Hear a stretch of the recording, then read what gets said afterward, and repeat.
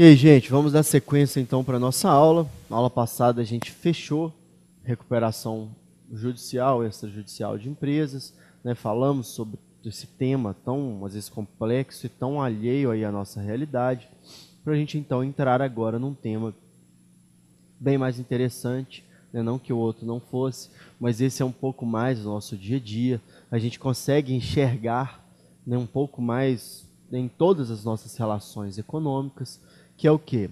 A disciplina constitucional da atividade econômica. Pessoal, esse tema né, é um tema próprio aí de direito econômico, porque a gente vai ver o quê? Que o direito empresarial ele não esgota em si mesmo. Pelo fato de ele envolver relações entre particulares, né, sempre com o objetivo de lucro, ele vai ter umas ramificações. A gente vai ver o quê? A questão do direito do consumidor, a questão do direito concorrencial, que é uma sub-ramo aí do direito econômico. Então a gente precisa trabalhar um pouco esses conceitos aqui no nosso curso. Né, o nosso curso ele é um pouco curto, né, a gente tem poucas aulas aí para ver tanta coisa, tanta matéria. Né, direito, só o direito empresarial são quatro períodos de uma faculdade de direito. Né, então, a gente somar aí com direito consumidor, direito econômico, direito concorrencial, né, vão quase aí é, dez períodos quase. Então, a gente tem o que? Oito aulas para a gente ver essa matéria toda. Então a gente acaba tendo que separar, né? priorizar, pegar o que tem de mais importante para a gente poder focar, poder trabalhar aqui nas nossas aulas. Então, gente, a disciplina constitucional da atividade econômica, o que, que eu quis fazer aqui? Eu quis reunir os princípios que vão reger a nossa atividade econômica como um todo, para a gente poder ter uma visão geral né, gente poder ter uma visão né, desse todo aí, que é o nosso direito econômico, que tem um impacto direto no nosso direito empresarial. Antes, então, de adentrar nessa disciplina constitucional da atividade econômica, antes da gente poder estudar esses princípios que vão regir as relações econômicas como um todo, é necessário a gente fazer uma digressão, a gente voltar um pouquinho no tempo, para a gente entender por que, que tais é, princípios vão reger, vão disciplinar a nossa atividade econômica atual. Então, retrocedendo um pouco no tempo aí, a gente tinha o primeiro, o estado de polícia. Então, o estado de polícia era o primeiro estado que a gente tem notícia na história. O que era o estado de polícia? Gente, era aquele estado absoluto, o estado absolutista em que o rei mandava e desmandava. Né? O rei fazia o que bem entendia. Né? Se uma empresa estava dando certo, ele ia lá e confiscava aquilo para o governo. Não, isto agora é da coroa. Né? Você está enriquecendo muito a coroa que precisa de enriquecer. Né? Não existia o mínimo de segurança jurídica.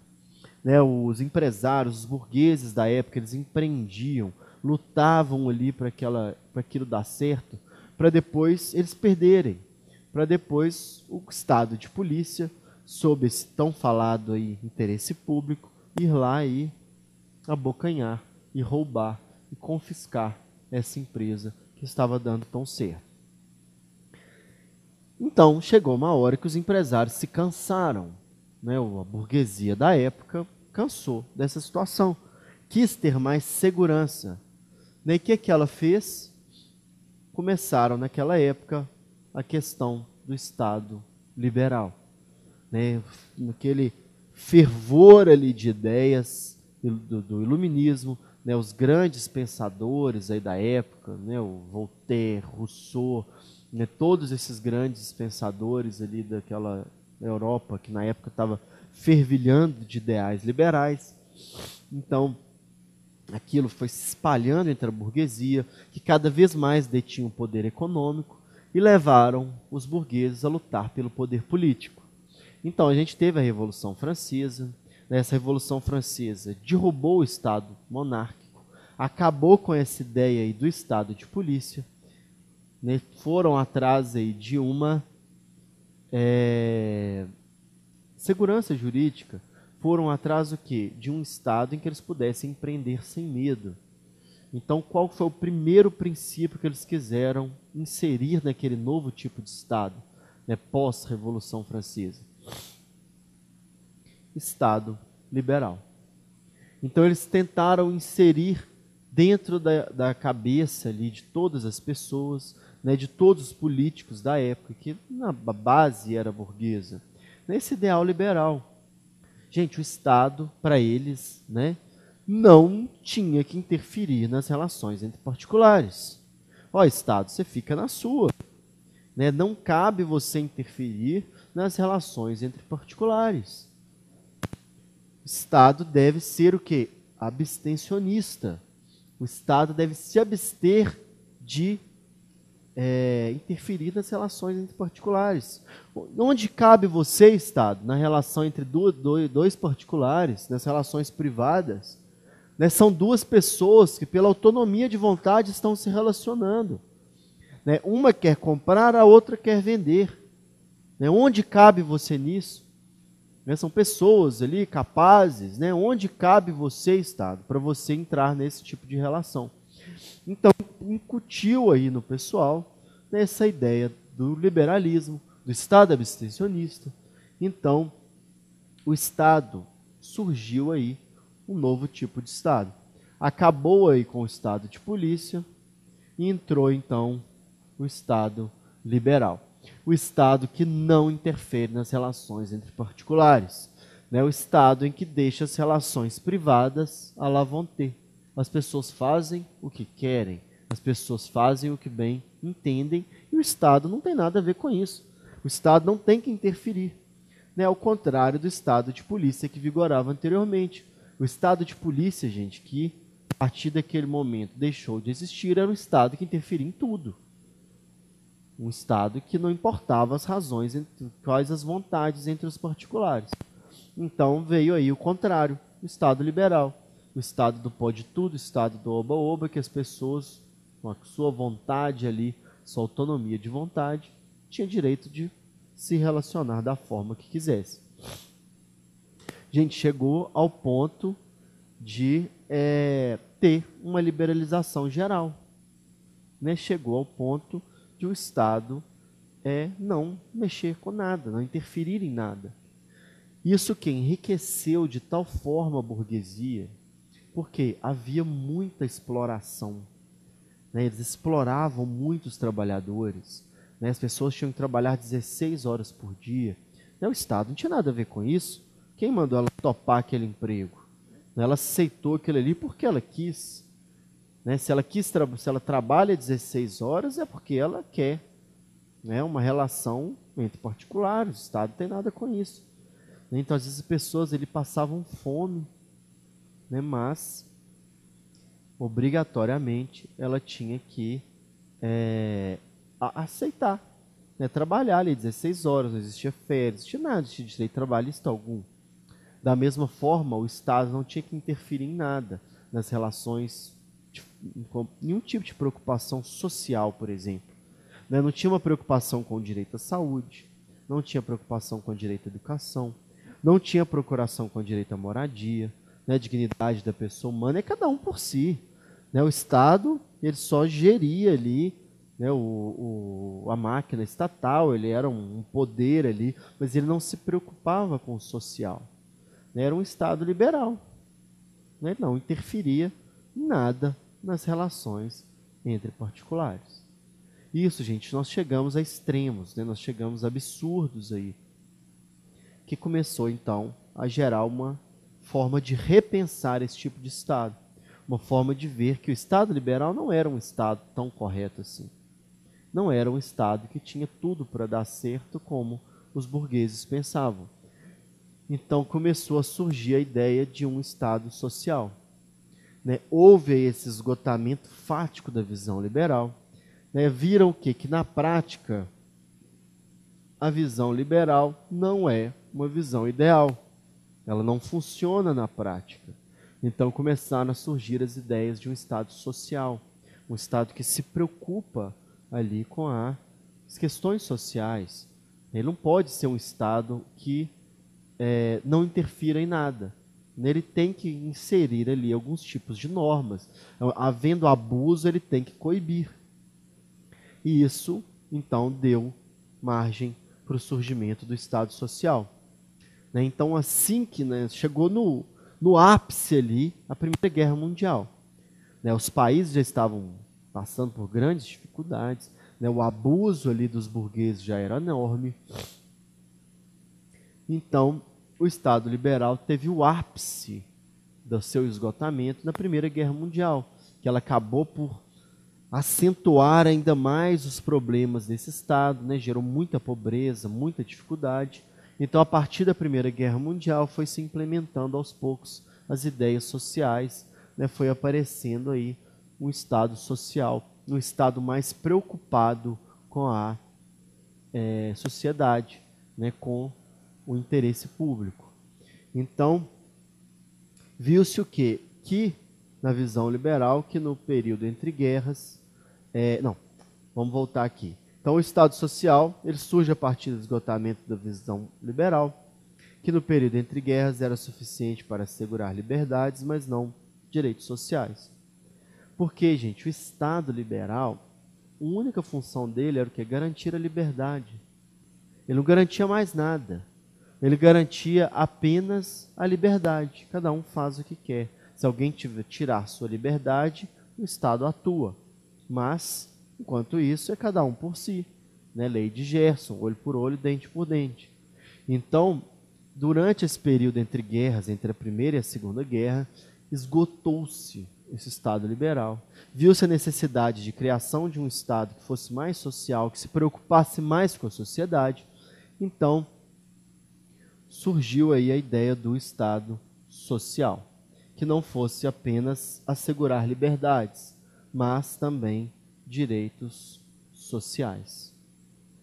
Gente, então, a partir desse Estado, começou então a haver uma interferência maior do Estado nas relações entre particulares. Então, o Estado, cada um a sua forma, cada um do seu jeito, começou a interferir nas relações entre particulares. Ah, como que ele começou a fazer isso? Começou então criação de direitos trabalhistas. Para vocês terem uma ideia, a nossa CLT é de 45.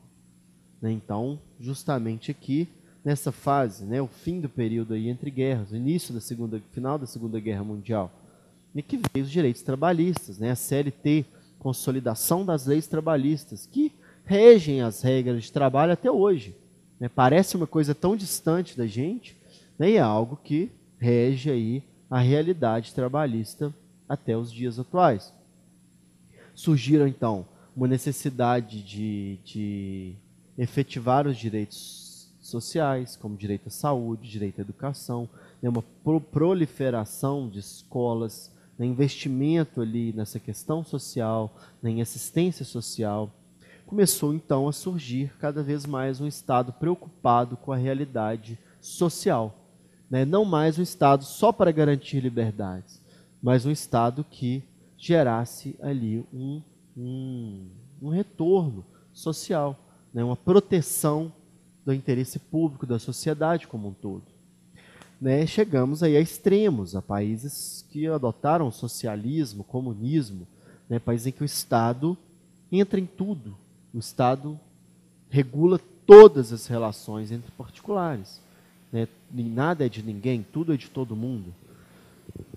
E nos estados que não adotaram o socialismo, né, que continuaram mantendo o capitalismo, o Estado se tornou muito, né, interferiu muito aí na realidade, na vida dos particulares, nas relações entre os particulares.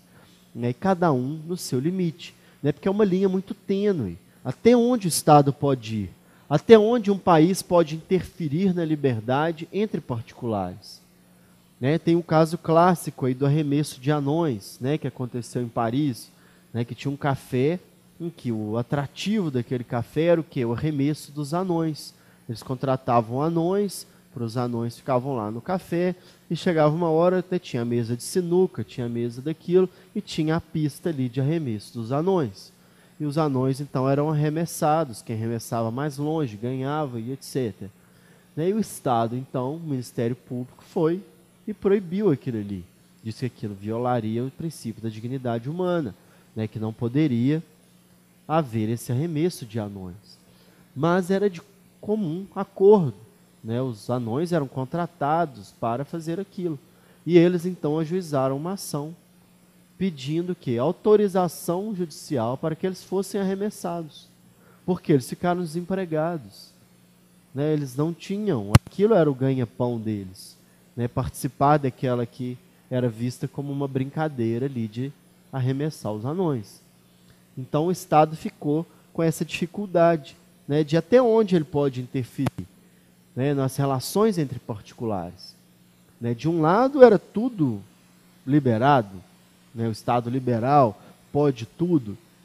Do outro lado, o Estado social, um Estado que tem uma interferência muito grande nas relações da sociedade. E aí, né, o que, que é melhor? Né, Viu-se que precisa, era necessário chegar a um consenso, né, era necessário que as partes é, chegassem a um consenso que, que fosse bom, né, que fosse ideal ali para poder garantir né, um, um bem-estar geral ali de todos os cidadãos daquele tipo de Estado. Então chegou-se ao tipo de Estado que a gente tem hoje. Né? Qual o tipo de Estado que a gente tem hoje? O Estado democrático de direito.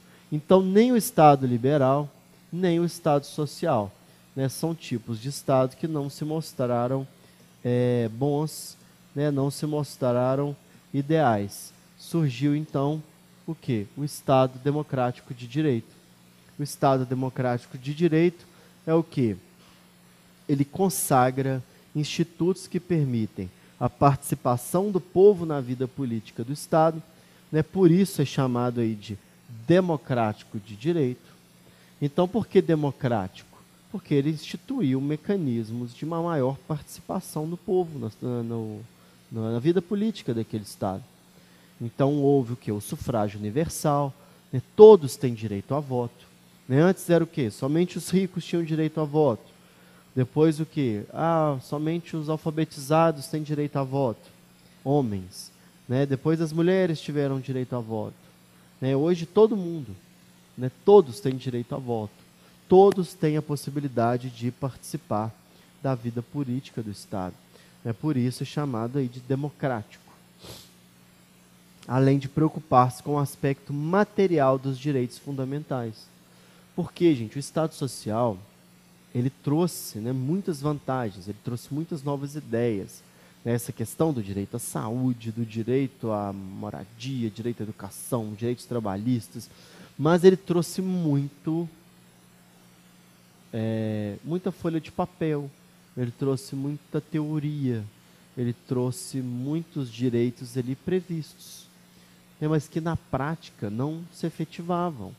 Né, as pessoas tinham aquele direito né, previsto na Constituição, na legislação, mas na prática aquilo não se efetivava. Então, gente, o Estado Democrático de Direito veio com essa ideia de efetivar esses direitos sociais. Não basta esses direitos estejam apenas previstos numa folha de papel. Né? É necessário mais do que isso né, é necessário concretizar aí esses direitos. Então, o Estado Democrático de Direito ele surgiu com essa função né, de permitir aí a participação do povo e de concretizar aqueles direitos que antes ficavam limitados ali à folha de papel. Então, gente, esse é o Estado que a gente tem atualmente. É o Estado Democrático de Direito. É o Estado que a gente vive ele começou aí a surgir né, esses ordenamentos jurídicos focados no Estado Democrático de Direito a partir da Segunda Guerra Mundial. O nosso aqui se implementou quando? Com a Constituição de 88. Né, logo após o período da ditadura, a gente teve aí a, a, a, o período da ditadura como um Estado social, né, um governo que focava muito no social e não permitia que houvesse uma liberdade das relações entre particulares. Então, com a Constituição da República de 1800, 1988, que veio logo após a ditadura militar, é que começou a ser implementado o Estado Democrático de Direito. Então, gente, vendo aí, né, que a nossa Constituição hoje ela é o que Ixi, fiz bagunça aqui. Ela é o que vai regulamentar a nossa, nossa realidade, né, a nossa questão econômica. Deixa eu tentar uma coisa aqui, vamos ver se vai dar certo. Deu. Então, a gente tem aí a nossa Constituição de 1988, focada aí no Estado Democrático de Direito, e essa nossa Constituição vai trazer uma série de princípios que vão é, reger todo o nosso mercado, toda a nossa a regulamentação jurídica da nossa economia, né, das nossas empresas. Então a Constituição de 88 traz aí uma ordem econômica, né, com uma série de princípios nas quais toda legislação deve obedecer. Relembrando aí um pouquinho do constitucional, né, vocês sabem que a Constituição é a norma suprema, é a norma que mais né, superior aí a todas. Todas as normas devem obediência a ela, seja uma lei complementar, uma lei ordinária, um decreto-lei, uma, uma, um decreto simples, portaria, resolução, tudo. Toda norma, qualquer tipo de regulamentação existente no nosso ordenamento jurídico deve obedecer o que? A Constituição Federal, a Constituição da República. Então essa Constituição ela vai prever uma série de princípios e dentre eles nós teremos três pilares aqui que vão reger os dez princípios econômicos. Quais são os três pilares que regem a nossa economia? O primeiro deles é o que? Nossa economia será regida pelo regime capitalista. Então a nossa Constituição prevê isso de forma expressa nossa economia será regida pelo princípio capitalista, pelo regime capitalista. Nós não podemos, nem né, amanhã a Dilma acorda, ah, quero ser comunista agora. Seremos um Brasil comunista. Nossa Constituição não permite. Ela diz o quê? Que nós temos que seguir o regime capitalista. Regime que vai regulamentar a nossa economia. Um dos três pilares da economia brasileira é o que? O regime capitalista. Onde mais ela se assenta? A nossa ordem econômica, ela se assenta em qual outro pilar? Na livre iniciativa. Gente, a nossa Constituição ela garante que qualquer um de nós que tenha vontade de empreender, que tenha interesse em ter um empreendimento, em ser um empresário, devemos ser livres para assim fazê-lo. Vimos na no nossa primeira aula a questão dos impedimentos para ser empresário, né, que são excepcionais. Em regra, qualquer pessoa tem livre iniciativa. Qualquer pessoa pode, ali por conta própria, né, abrir o seu próprio negócio. Né, tudo o que vai atrapalhar essa livre iniciativa, né, não sendo, claro, impedimentos legais, né, que eles devem ser obedecidos, que eles têm uma razão de ser, mas em regra, o que, que a gente tem? A livre iniciativa. Ela deve ser respeitada. A livre iniciativa, ela tem que ser observada. Qualquer tipo de coisa que vá atrapalhar as pessoas de empreenderem tem que ser coibida.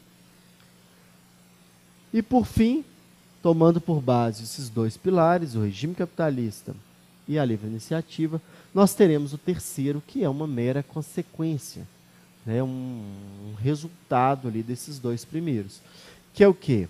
A propriedade privada. Gente, isso também é fator básico numa economia de mercado capitalista. A garantia da propriedade privada. É você ter a propriedade privada protegida. Quem que vai empreender? Quem vai querer gerar riquezas? Se você não tiver certeza de que aquilo que você gerou será seu, de que o Estado pode ir lá e pegar aquilo que é seu. Então a propriedade privada, ela tem que ser respeitada. A propriedade privada, ela necessariamente terá que ser respeitada. Então, é, os princípios aí da propriedade privada e da livre concorrência, consequências aí do regime capitalista, e da livre iniciativa são o terceiro pilar.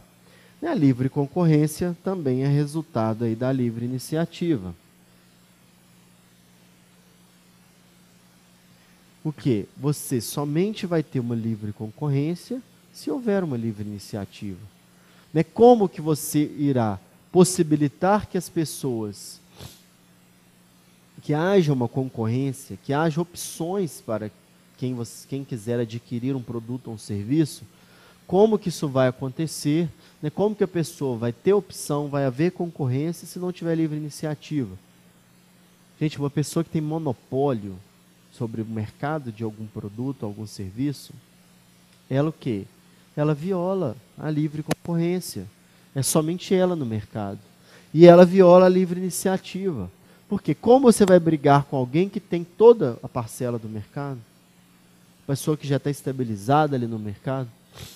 Então, é, essa, esses são os pilares aí nos quais está assentada a nossa ordem econômica, né, a propriedade privada e a livre iniciativa.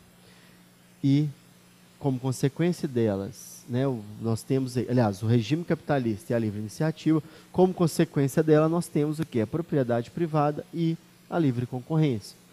Toda a nossa legislação empresarial, toda a nossa legislação econômica e concorrencial tem que estar focada aqui nesses pilares, né? seja no regime capitalista, seja na livre iniciativa, seja nos princípios da propriedade privada e da livre concorrência.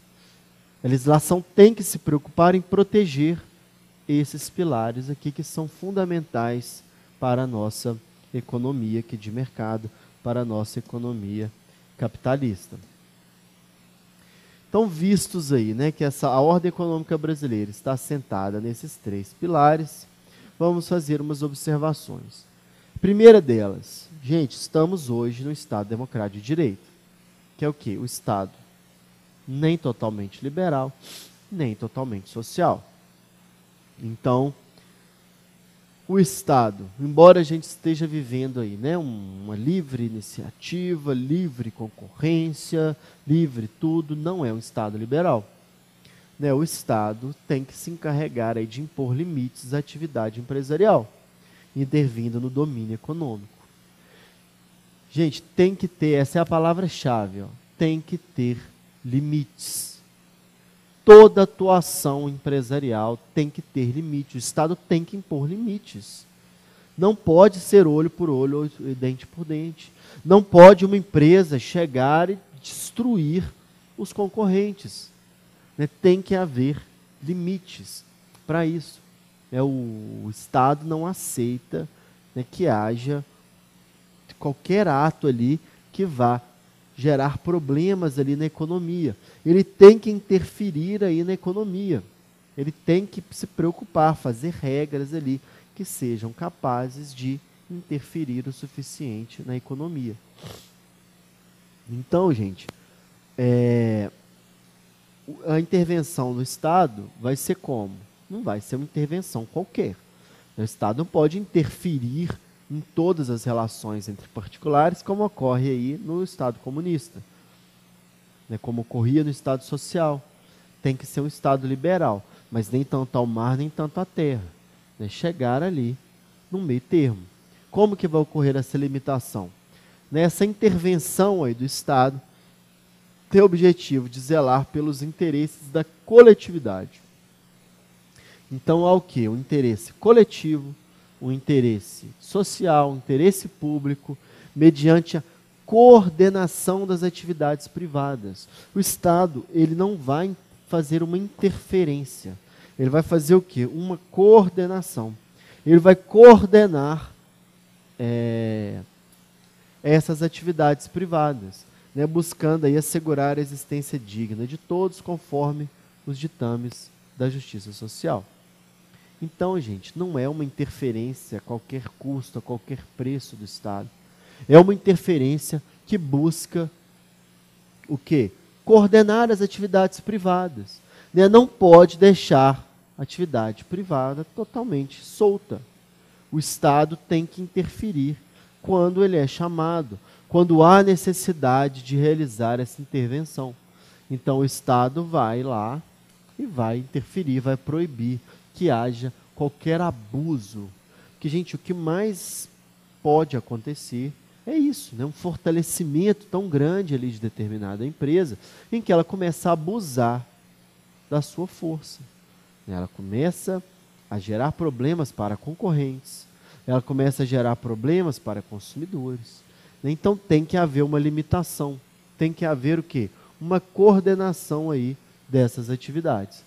Então o Estado não vai fazer uma interferência, não vai fazer uma gerência daquelas relações. Ele vai o quê? Apenas impor limites. Né? Ele vai apenas coordenar essas relações aí entre particulares, com o fim de quê? De assegurar uma existência digna a todos, conforme ditames da justiça social.